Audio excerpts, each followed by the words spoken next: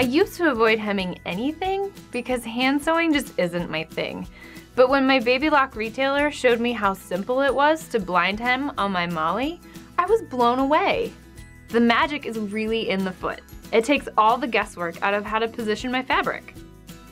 Every couple of stitches, the blind hem stitch takes a little bite to the left so my hem is almost invisible.